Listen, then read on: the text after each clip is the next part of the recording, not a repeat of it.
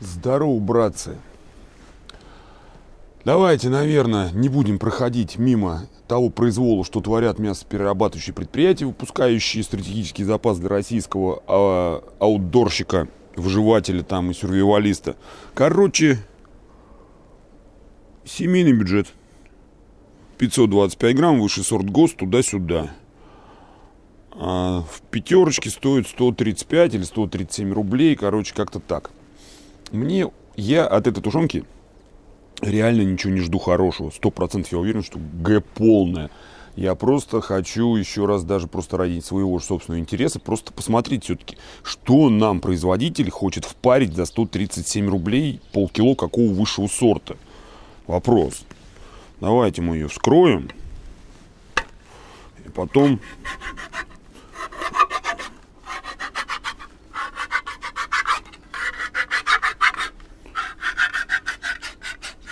Я свои видосы просто как бы тупо не пересматриваю и не знаю, по-моему, семейный бюджет у нас был. Ну, не суть, давайте, ладно. Первый органолептический осмотр. Ну, как всегда, какая-то вот запах какой-то жестянки примеси вот есть стопроцентный. То есть пахнет вроде как тушенкой, но в тот же момент и жестянкой. Ну, не знаю, мне это не нравится. Третья попытка. Достала эта карта памяти уже, блин, просто тупо съемка останавливается. Ну ладно, не суть. Короче, я вам показываю эту банку, такую красивенькую, зачетную, чтобы вы, короче, смотрели уже и думали по факту, стоит ее брать или нет. Ну, как-то вот так вот мы сделаем для фото фон общий, чтобы можно было и тушенку посмотреть, и баночку было вблизи видно. И больше я вам показывать и не буду. Запоминайте семейный бюджет. Давайте, ладно, быстренько рассмотрим этот кусок не пойми чего, что у нас здесь. А здесь у нас, друзья мои, все по факту то же самое. Что и как бы в предыдущих полукилограммовых тушенках. То есть не пойми что. А конкретно это какой-то, чисто какая-то начинка для каких-то хер его знает голубцов. Просто время рано еще, я только проснулся.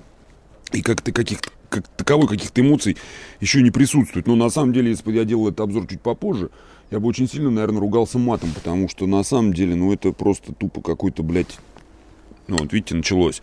Тупо какой-то фарш, волокна мяса, он где-то там есть, их не может не быть, потому что все-таки же высший сорт, и по факту тут есть высший сорт, но вот вопрос, сколько его сюда добавлено, это уже останется, так сказать, для нас риторическим вопросом. Давайте, ладно, я, наверное, даже ее чуть-чуть чутка попробую все-таки, чтобы убедиться, что это... Вот он, высший сорт попался, грамулька. На вкус? На вкус дерьмо. На вкус это тупо дерьмовая говяжья тушенка по факту даже я не знаю, как-то вот особо и разобраться-то сложно, что здесь у нас вообще есть в составе. То есть похоже на какую-то мешанину, на какую-то кашу. То есть то ли это соя, то ли это хрен его знает чего. Короче, я не знаю. Я говорю еще раз, я просто эти тушенки вот, ну, заострил внимание на этих полукилограммовых банках, потому что мне просто самому интересно, насколько у производителя хватает совести вот нас обманывать. Ну, не то, что обманывать, это понятно, что мы с вами уже как-то раз беседовали Давайте, ладно, побеседуем в этот раз. Мы с вами как-то уже раз беседовали, я вам приводил пример всех этих зарплат долбанных. То есть, но львиная эта доля зарплаты идет кому? Акционерам и долбанному директору мясоперерабатывающего комбината, которому вообще, честно сказать, похуй, что они производят и что мы с вами будем жрать. Я понимаю прекрасно, что каждый директор, там, каждый там маркетолог там или хер его знает, как его называют. Вот видите, уже на эмоциях начинаю говорить, потому что начинаю сам себя заводить.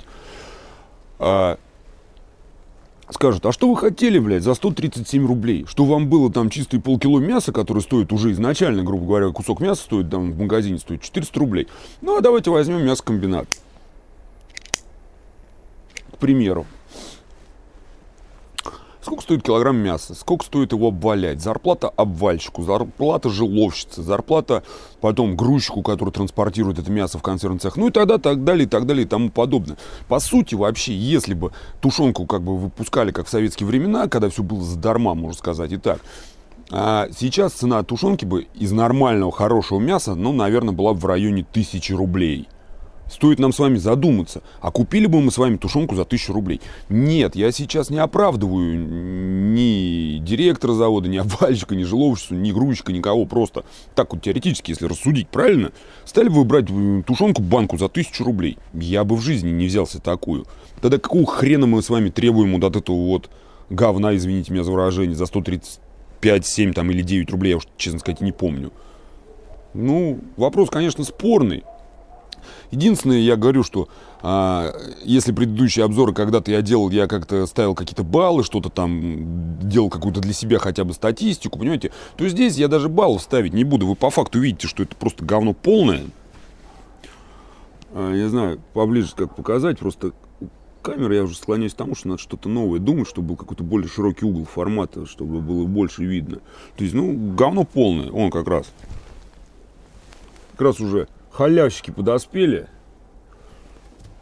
Сейчас будут обедать этой самой тушенкой. Просто тупо я буду вам показывать. Не знаю, насколько у меня хватит терпения и сил заниматься этим этим неблагодарным занятием. Ну, наверное, уже из первых обзоров, из-за вторых, вот уже третий, там сейчас еще, еще один будет, да, я вам скажу сразу, там такая замануха, на днях буквально.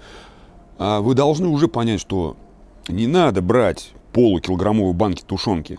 А не надо доверять каким-то там обзорам, еще что-то. Я не говорю, что мои обзоры прям вообще супер. У каждого есть какое-то свое субъективное мнение, предвзятое мнение или еще что-то. Я вот люблю тушенку одного там, грубо говоря, производителя. Кто-то любит другую, кому-то нравится третий, пятый, десятый. Вы не знаю, как-то в целом можно, конечно, видосики посмотреть, сделать для себя какой-то определенный вывод, и потом просто эту тушеночку тупо попробовать. Понравится она вам, не понравится, как бы вот такой вот вариант, понимаете, о чем я? Но, говорю еще раз, а, по каким-то акциям, по каким-то скидкам надеяться, что мы что-то купим с вами за 100 рублей хорошее, ну, думаю, вообще не стоит. Короче, семейный бюджет, решайте сами. Я ничего от него хорошего не ждал, и, в принципе, я ни грамм не разочарован, ни грамм, ни грамм не удивлен. Ладно, давайте, как всегда, палец вверх. Кто не ставит, тот вонючка, который любит дерьмовую тушенку. За всем удачи, всем а, за всем прощаюсь, всем удачи, всем пока.